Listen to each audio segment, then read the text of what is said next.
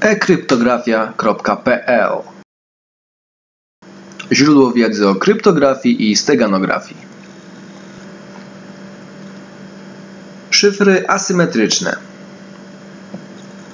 Szyfry asymetryczne prezentują zupełnie inne podejście niż szyfry symetryczne. Do szyfrowania i deszyfracji wiadomości używane są dwa zupełnie inne klucze. Jeden z kluczy nazywany jest kluczem publicznym, gdyż jest to klucz jawny i może zostać upubliczniony. Drugi z kluczy nazywany jest kluczem prywatnym i jest kluczem unikatowym. Wiadomość zaszyfrowaną za pomocą klucza publicznego odszyfrować można jedynie za pomocą klucza prywatnego. Analogicznie, jeśli wiadomość zaszyfrowana zostanie za pomocą klucza prywatnego, jej odszyfrowanie możliwe jest jedynie po użyciu klucza publicznego.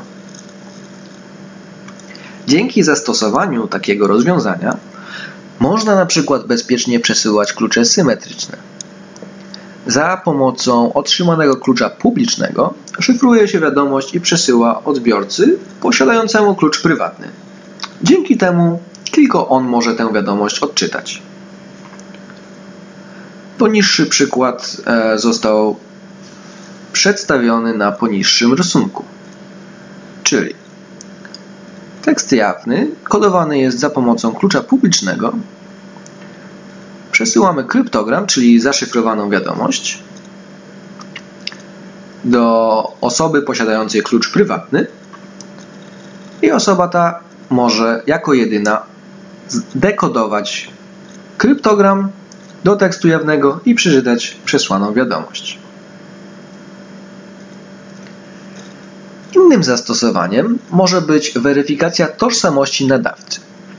Klucz publiczny przesyłany jest do odbiorcy, natomiast za pomocą klucza prywatnego zaszyfrowana zostaje wiadomość i przesłana odbiorcy. Dzięki czemu po jej otrzymaniu i odszyfrowaniu wiemy, że jej nadawcą jest osoba, której otrzymała klucz publiczny, ponieważ tylko ona posiada ten klucz prywatny. Nie zapomnij subskrybować naszego kanału.